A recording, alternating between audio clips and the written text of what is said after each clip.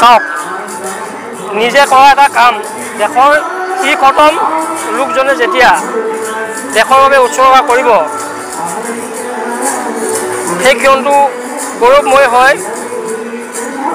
তো আজি এই মুহূৰ্তত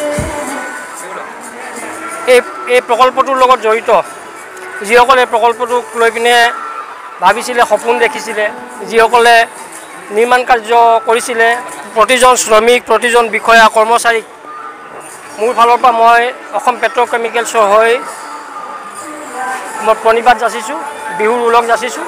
এটা আমাৰ কাৰণে এটা অতি গৌৰৱৰ মুহূৰ্ত মধুৰ মুহূৰ্ত।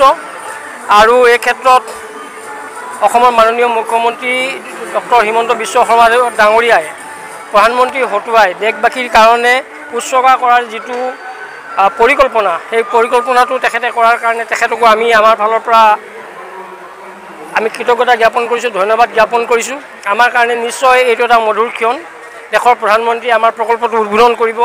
আমাৰ প্ৰকল্পটো আমাৰ উদ্যোগটো সম্পৰ্কে দেশবাসীৰ লগতে দেশ বিদেশৰ মানুহেও গম পাব। আৰু ই আমাৰ কাৰণে নিশ্চয় এটা মধুৰ মুহূৰ্ত। তো মই অসমবাসীলৈ মই ধন্যবাদ জনাইছোঁ কৃতজ্ঞতা জনাইছোঁ। নামৰূপবাসীলৈ ধন্যবাদ জনাইছোঁ কৃতজ্ঞতা জনাইছোঁ।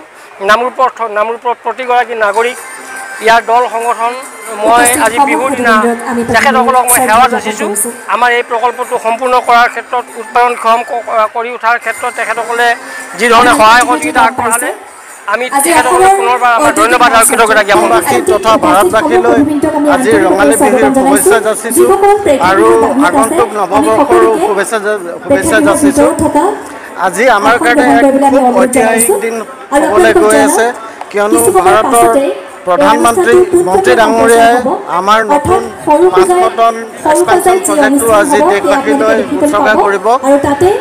এইখিনিতে মই ক'ম আমাৰ বহুত ত্যাগ গ'ল বহুতো দিন কষ্টেৰে গ'ল কিন্তু আজি এই দিনটোলৈ আমি সকলোৱে সকলোৱে অপেক্ষা কৰি আছিলোঁ।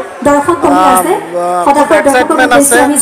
মোৰ মাজত নহয় সকলো এ পি এলত যিমানখিনি আমাৰ বিষয়া কৰ্মচাৰী আছে ৰিটায়াৰ কৰা কৰ্মচাৰী সকলো আছে সকলোৰে অনুদান আছে সকলোৰে খুব এক্সাইটেড আমি সকলোকে আজি নিমন্ত্ৰণো কৰাইছোঁ এই ঐ- ঐতিহাসিক ক্ষণৰ সাক্ষী হ'বলৈ আৰু ইয়াক উপভোগ কৰিবলৈ।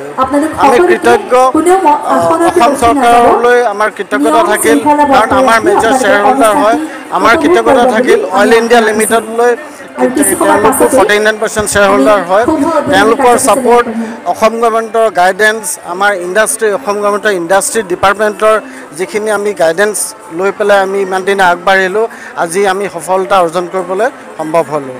পুনৰ খালি এতিয়া ধন্যবাদেই জনাব পাৰোঁ।